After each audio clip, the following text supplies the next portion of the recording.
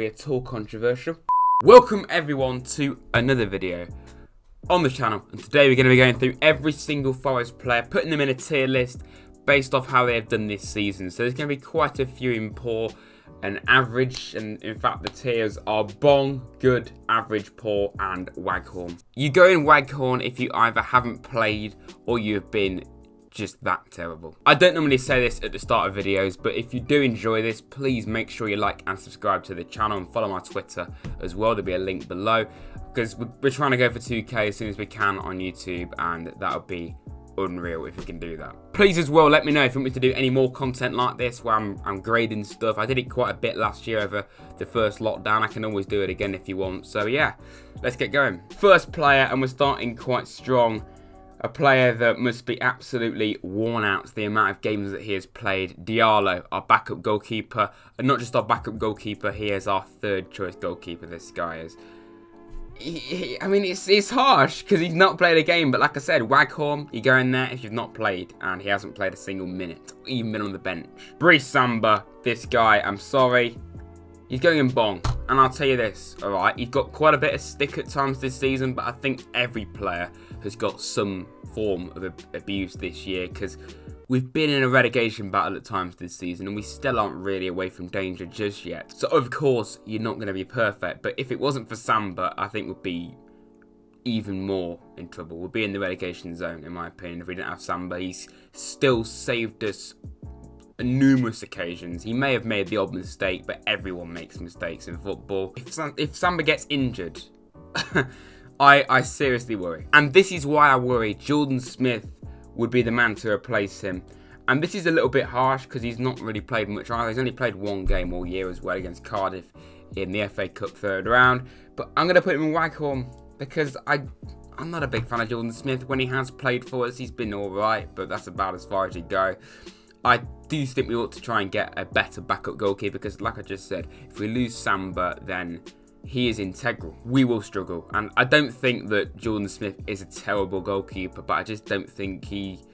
Maybe we should, we should sell him for the good of his career, just sitting on the bench every week. Scott McKenna, I'm going to put him in good. I think that's at least where he should be graded on this tier list.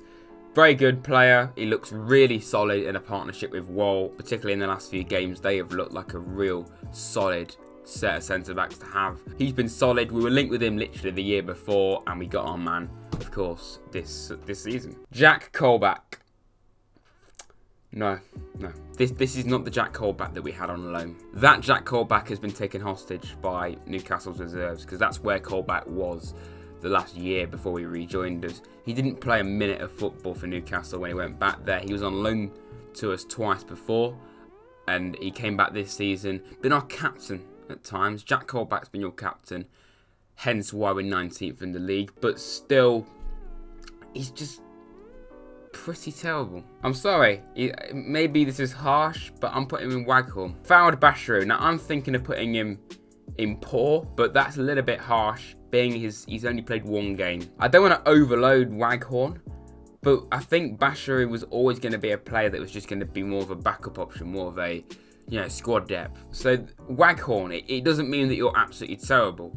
It means that, and it also means that if you just haven't played any football, he hardly has kicked a ball. So I think Waghorn. Samba Sow, I think average to be quite honest. He's not been quite as good as he was last season. I think everyone knew that when Samba Sow was in our team, we were fantastic. He like made the midfield work. He glued it together.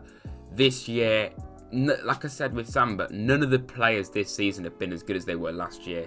Until recently, really, where we're unbeaten in seven somehow. He is one of the most injury-prone players probably ever to play for Forest. Like, the amount of times he's randomly out the team because he's injured is amazing. Cafu. Now, I won't lie, I wasn't a big fan of us signing him. I didn't really think we needed him because we have a ridiculous amount of defensive-minded players we didn't need him. We got rid of Tiago Silva to Olympiacos, shock horror there, who is a, more of an attacking kind of player, and we sell uh, Tiago Silva and we bring in a defensive kind of player in Cafu.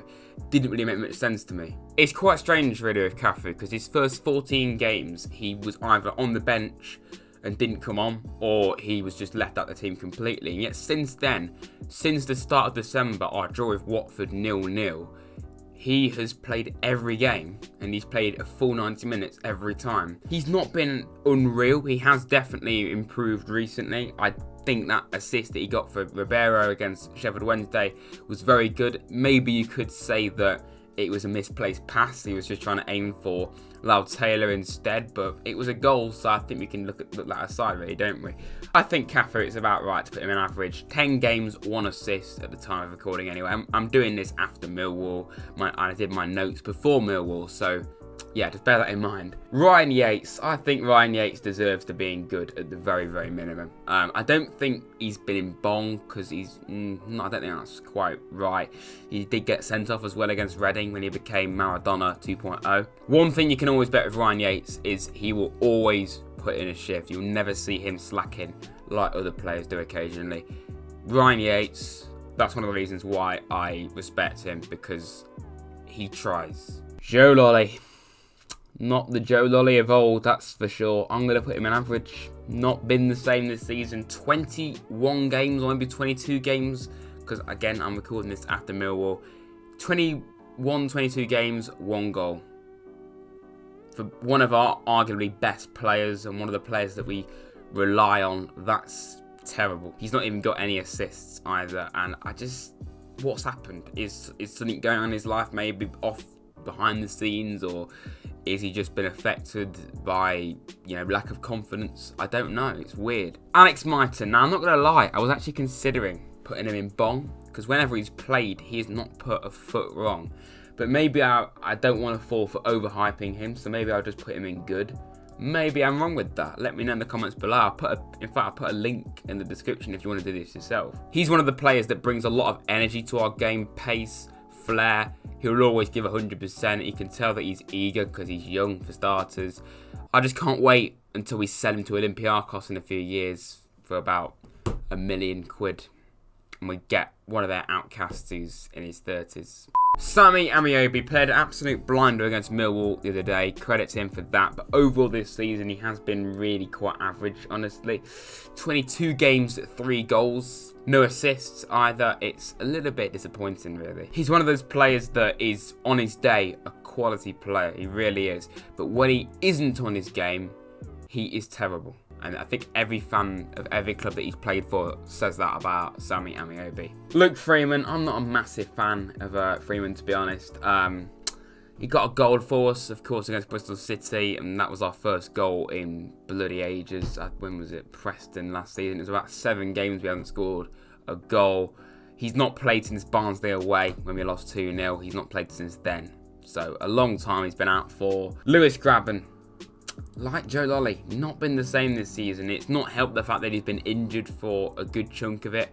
Only got two goals. Before his injury, he was absolutely woeful. Missing sitters after sitters constantly. I can think of one against Cardiff, one against two against QPR. That absolute, probably one of the worst misses I've ever seen against Rotherham. Like, come on, grabs. What's happened to him, mate? He's been given a lot of stick this season. People saying that Lyle Taylor should start over him. I personally think he should do, to be honest, but Grabban is still a fantastic striker. Tobias Figueiredo, my word. the amount of stick that this lad gets, I'm going to put him in poor. I think it's only fair. He's not been good this season. He has kind of improved like the entire squad has the last month or so, but he's not been great at all, as we To say the very least. I, we know that he, he is a good player because he played really well for us last season. He was solid, him and Worrall together, but he's just not been the same this year. Gaëtan Bong. Now, um, people are just going to want me to put him in Bong, aren't they? No, no, come on, let's be serious for once. Bong, I'm going to put him in poor at the very least. I don't. If this was a few weeks ago, he would have been in Waghorn because he never plays games. But against Cardiff in the Cup, he was genuinely decent. Like, he actually was. I think for that reason, poor, but it's still not great, really, is it? Because you're poor. Miguel Angel Guerrero, I'm not a fan, at the, the very least. What does he actually do? What, what does he actually do? He's just one of those many, many players we didn't actually need. From Olympiacos. Olympiacos, can you believe it? Lyle Taylor, only the second player that's deserved of going in bong. He's one of the few players that's actually scored multiple times this season. I think Ameobi now with his two goals against Millwall is the second top scorer with three, but Lyle Taylor's got five. You know, I think it's really sad that he isn't starting games more. He was starting obviously when Grabban was injured, but I still think he deserves to, just because Grabban's back. I mean, I don't know. I just, I just, I'd be starting Taylor. This is a man that's the only player in the squad that scored several times, and we're benching him. Will Swan, this is quite strange really, because I don't really know what to grade him. Waghorn is very, very harsh, because he's only played half an hour of football all year in two games off the bench against Reading and Swansea, the other way around, but still, where do I put him? Poor is unfair. Average maybe. But again, he's only played half an hour of football. Harry Arter, another one that's going to go in average because he's not really lived up to the hype. I think a lot of us were very excited bringing in a player like Harry Arter.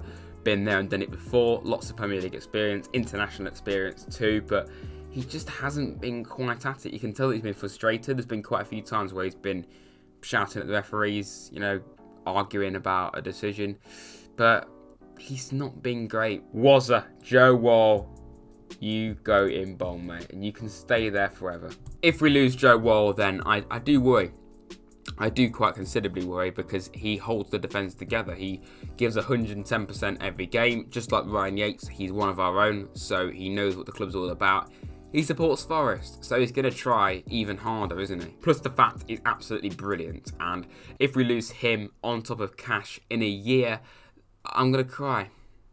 Anthony Knockaert, not been quite as good as we expected him to, but I think good because he's one of the few players that has actually created chances for us this season, actually has looked good at times anyway. I think towards the end of his last few games where he was just on loan for his first spell, because obviously he's back now, um, he was improving. He got man of the match against Stoke away, got an assist in that game. He scored a great goal away at Norwich as well. He should have had his goal against Brentford counter, not that it would have mattered in the end. He's also got two assists as well, which you love to see. Loic Mbe Soh, he's not he's not had the chance. He's not had the chances. He has been an expert in bench warming. He has gone from Santiago Silva and Marquinhos playing in front of him at PSG. That's Paris Saint-Germain, the team that wins the French division every single year the team that literally lost the Champions League final in when was it? August. Yes, August. Like, what else do I say? He hasn't had the chances. I really feel sorry for him. Just like Mighten. I think both of them have, should deserve to play more than they have done. The fact that we spent four and a half million on Mbe Soh and he's only played four games, I think he's criminal. I think that's ridiculous. So I'm going to put him in average, just basically because he hasn't had the chances, really, to prove himself. Maybe good, Maybe good, but I, am not sure. You let me know in the comments. Michael Dawson. Now, this is very, very harsh because, again, a bit like with Diallo and, uh, I mean, obviously, Bachirou's only played once. Smith has only played once. Dawson's not played a single minute. He's basically more of a coach these days, really, which I think is the only reason why he actually signed a deal. Every game, he's pretty much every game he's been on the bench, but few times he's not even been included on the bench. He has had an injury as well. I think his future definitely lies in the coaching role at Forest rather than on the pitch. I think Waghorn is probably only fair being as he's not played any games. Tyler Blackett. You know what I'm going to do for this? I think I'm going to create an entire new tier for Tyler Blackett. Yeah, add row below. Tyler. Okay, that was good. Tyler. Can't use a computer. Tyler Blackett. There we go. Yuri Ribeiro, he's one of the few players that regardless of the result, you can tell that he is always trying, he's always putting in an effort. You can tell that he's frustrated that we're not winning more, and it's fantastic that more recently we're finally seeing that from the entire squad. The squad actually looked like they care again. But um, um, so Ribeiro has done that all year, and I think good is the least he should be ranked. Cyrus Christie. There's a hell of a lot of players in average, really, isn't they? And I'm afraid you're going to join him. I don't rate Cyrus Christie that highly. I think a few people have said that he's been good. A few people have said that he's been terrible. It's one of those that kind of mixes opinions, really. Let's just put it this way. I definitely wouldn't keep him. I wouldn't keep him. I wouldn't be surprised if we did because he's not really got a future at Fulham especially if they stay in the Premier League. He definitely has not got a future at Fulham. To be fair to him, though, he's had a few good moments, like against uh, Wycombe, that assist that he got for Taylor, I thought that was a really good goal, really good build up, everything. So credits him for that. But he just needs to do it a little bit more often. And let's not forget this. He is a massive, massive downgrade on Matty Cash. Okay. Whoever replaced Cash, it was always going to be really difficult to do that. But come on. He, he was he could have done better in my opinion. We could have signed a better player than him. Carl Jenkinson, again, average. Again, I'm I'm sorry to overload that tier, but that kind of sums up this season. To be fair though, Jenkinson, when he has played, he has looked pretty good. He's looked pretty good, but he's nothing special really. i have never been a big fan of Jenkinson really. Um, I think the fact that they're both our main right backs is definitely an area we need to improve in the summer, or even January, but I doubt it. And again, a bit like Mbe Soh, he is the definition of a bench warmer. And these last two, they may as well just be done at the same time. Zach Clough and Michael Hefele. Why are they still being paid ridiculous wages every week to not even get close to the first team? It says a lot when Zach Clough is in a Forest shirt from not this season, not last season, not the season before that, the one before that. That is a Forest shirt from four seasons ago. That says everything about how his career has gone down the drain at Forest. He has not played a game for us since the 27th of January 2018.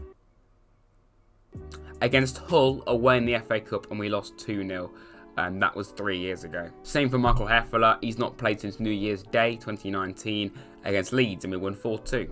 That's just why are they still on our books? They're still training to do nothing. So there we go lads, that is my ranking of every single Forest player in the current squad this season. Of course, I'm recording this on the 17th of January, so if we have signed a player, then, you know, just bear that in mind. But then again, it doesn't really matter because I'm grading this off them playing for Forest this season, not another club. So I don't really know why I said that.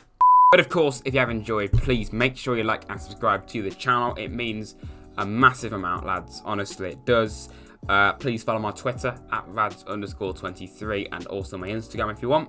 We are trying to go for 2k as soon as we possibly can. Let's try and get 2k